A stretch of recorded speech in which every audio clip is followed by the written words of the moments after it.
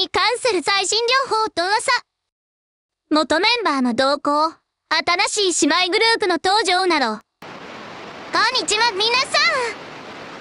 今回は、BUK に関する最新の情報と噂についてご伝えします。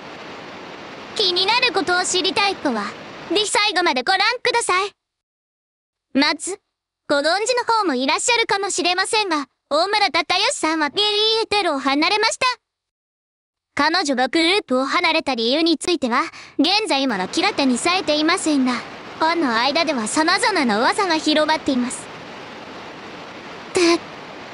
彼女の新たな活動にも注目が集まっていますので、今後の動向にも期待が高まります。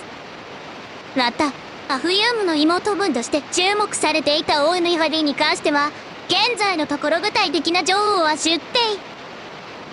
いません。ただし、ファンの間では、まさな広まっておい、将来的に姉妹グループとして活動する可能性があるのではないかと期待され、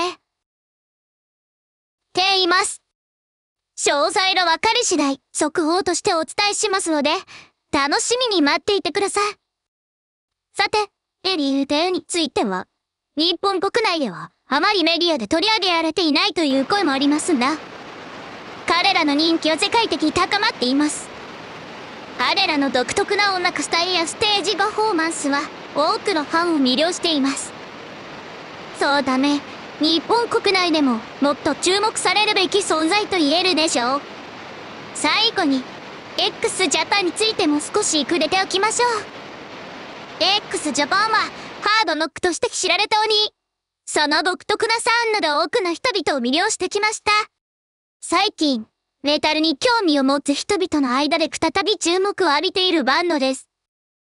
彼らの音楽を聴いてみると、その魅力に虜になること間違いありません。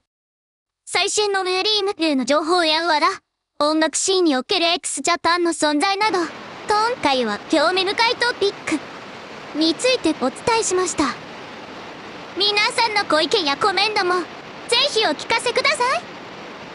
それではまた次回の動画でお会いしましょう。動画をご覧いただきありがとうございます。この動画が気に入っていただけましたら、ぜひ、あなたのコメントもお待ちしています。チャンネル登録もお願いします。